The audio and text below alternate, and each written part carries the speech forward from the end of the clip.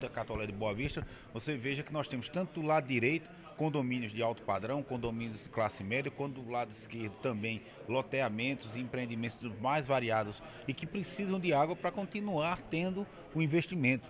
Foi um pedido da construção civil eh, e, e da, de todo aquele de todo aquele entorno de Catolé de Boa Vista, porque nós vamos atender a construção civil, mas nós vamos atender todo mundo que está naquela estrada até Catolé de Boa Vista, todos aqueles distritos o, o rurais que estão ali, estão no entorno serão atendidos com rede nova, com ligações eh, corretas, com rede de forma adequada. Então, tudo isso são investimentos que permitem que Campina Grande continue na sua pujança, no seu crescimento, garantindo o desenvolvimento da cidade. Não se desenvolve uma cidade, uma região, se não tivermos água de qualidade e em quantidade. Dessa nova adutora, o que foi referendado hoje né, com o governador em exercício, toda essa execução. É, esse projeto foi elaborado, foi conseguido recurso com o governo federal, já foi assinado o contrato. Nós estamos agora, essa obra é uma obra que é licitada pela Secretaria, é, pela Lei 1433, está sendo montado no termo de referência. Eu acho que nos próximos dias aí, até o comecinho de dezembro, essa licitação será pautada.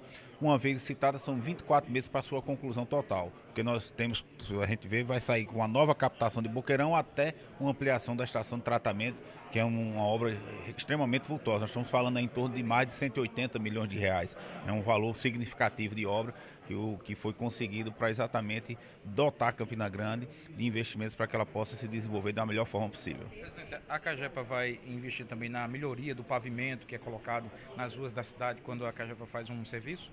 Veja só, é, a Cagepa, é bom primeiro a gente deixar claro em que momento a Cagepa faz serviço.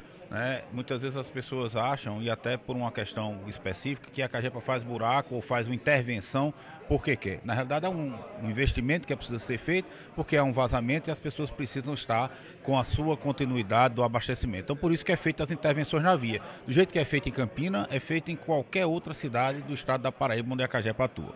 Feito esse esclarecimento inicial, nós estamos trabalhando para o desenvolvimento de uma nova tecnologia, inclusive para melhoria dessa intervenção. Muitas das nossas redes hoje, ligações, estão sendo feitas pelo método não destrutivo para evitar rompimento de redes. Nós temos feito cobrado inclusive da terceirizada melhoria na recomposição do asfalto, inclusive com glosas no seu pagamento para que efetivamente ela possa melhorar o seu serviço.